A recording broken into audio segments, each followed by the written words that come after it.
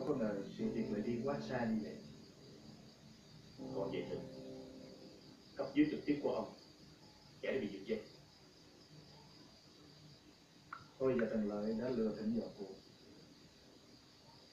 Cậu ấy không chịu tự nguyện, cứ đòi đứng ngoài. Ở vị trí của Thịnh mà đứng ngoài, thì bộ máy làm sao mà hoạt động được chứ?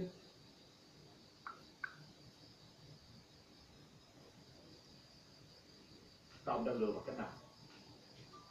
Trần Lợi mua đồ. Thịnh thì mê bóng đá. Chỉ có một điểm yếu đó thôi. Trời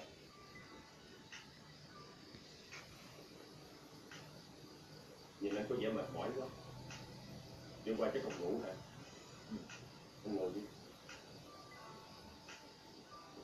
Nguyễn Văn Quý Dạ đứng đó